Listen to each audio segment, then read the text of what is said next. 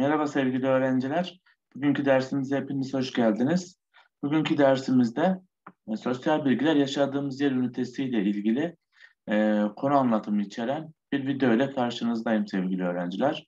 E, dersimize geçmeden önce kanalımda izlediğiniz videoları beğenip yorum yaparsanız sevinirim. E, kanalıma abone değilseniz abone olup bildirim zilini açmanız halinde daha sonra yüklediğim videolardan ve duyurulardan haberdar olabilirsiniz.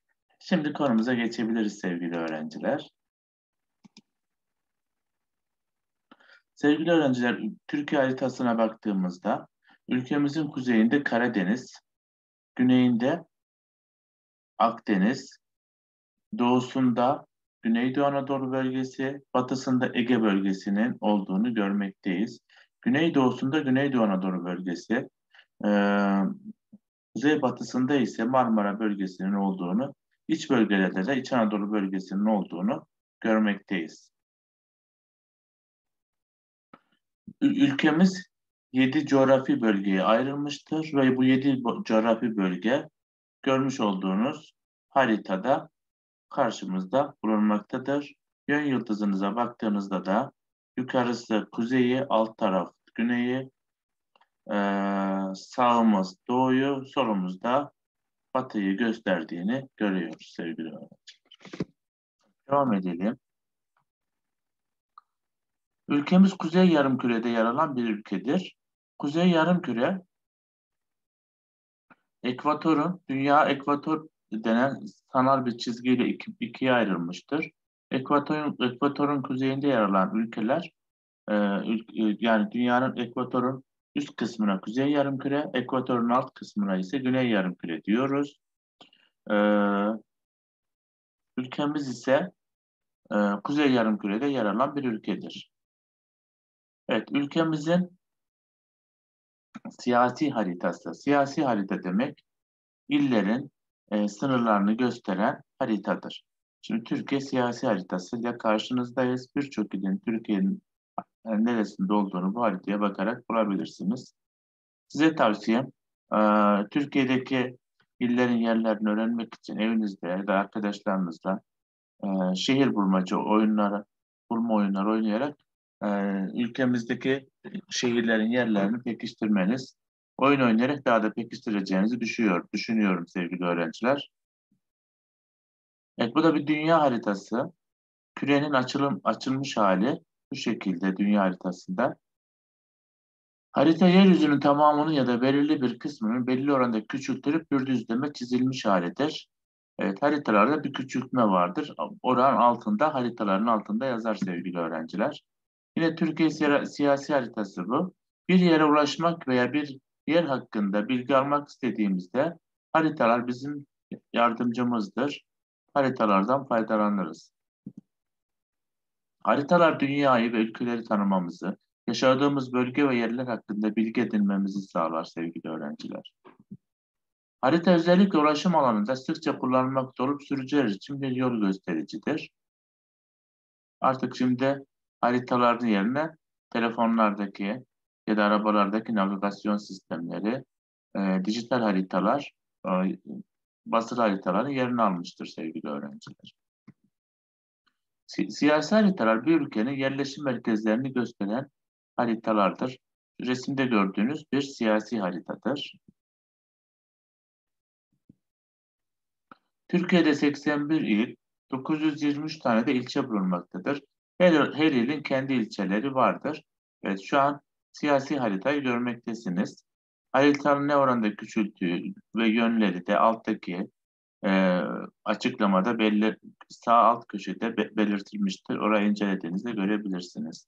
Evet bu görmüş olduğunuzda fiziki haritadır sevgili öğrenciler. Fiziki haritalar bir ülkenin dağlarını, ovalarını, vadilerini, göllerini, platolarını, akarsularını ve denizlerini göstermeye yarar haritalardır. Ee, bu söylediğimiz dağ, ova, deniz, göl gibi e, yerlerin için farklı renkler kullanılır siyasi haritalar, şey fiziki haritalarda pardon. Adı üstünde fiziki durumunu gösterir. Fiziki haritalarda deniz seviyesine yakın olan yerler yeşil ve yeşilin tonları ile, yüksek dağlık yerler ise kahverengi tonları ile gösterilir. Çok koyu kahverengiler yüksek dağların olduğu anlamına gelir sevgili öğrenciler. Haritalarda genellikle deniz ve göller ve akarsular mavinin tonlarıyla gösterilmektedir. Mavi ne kadar koyulaşırsa o, oradaki derinliğin fazla olduğu anlaşılmalıdır. Evet, Türkiye'nin dağları, e, ülkemizdeki e, dağlar fiziki haritalarda kahverengi ve onun tonlarıyla, açık ve koyu tonlarıyla gösterilir. Çok yüksek dağlar çok koyu kahverengiyle gösterilir. Ülkemizin önemli dağları Ağrı Dağı, Küçük Ağrı Dağı, Süphan Dağı, Nemrut Dağı, Erciyes Dağı, Köroğlu Dağı, Ilgaz Dağı, Küre Dağları, Toros Dağları, Aladağlar, Menteşe Dağlar ve Kaz Dağları olmak üzere belli bir dağlarımız ülkemizin belli dağlarındandır. Evet. Türkiye'nin denizleri, ülkemizin üç tarafı denizlerle çevrilidir sevgili öğrenciler. Kuzeyinde Karadeniz, güneyinde Akdeniz, batısında Ege Denizi, kuzeybatısında ise iç deniz olan Marmara Denizi yer almaktadır sevgili öğrenciler. Haritada görmektesiniz. Ülkemizin önemli ırmakları Sakarya, Kızılırmak, Yeşilırmak, Çoruh, Meriç, Gediz, Küçük Menderes ve Büyük Menderes e, ülkemizin en önemli ırmakları arasındadır.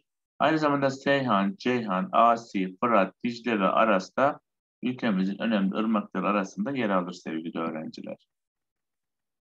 Barajlar ve nehirler görmüş olduğunuz haritada görülmektedir. Mesela nereye bakalım?